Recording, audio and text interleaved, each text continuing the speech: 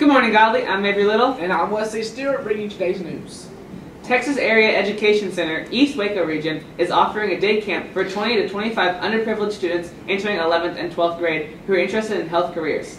The camp will be held July 10th through the 14th at McLennan Community College. For students who want to attend the camp but do not have the money, students may find sponsorships or ask Natalie for financial assistance. Flyers will also be posted around the school. Or campus. If you're planning to, on going to prom, all class dues and library fines must be paid and oh no Saturday school time. You must also have paperwork filled out and signed by your parents. The pizza line will start during lunch. Please go by and check it out.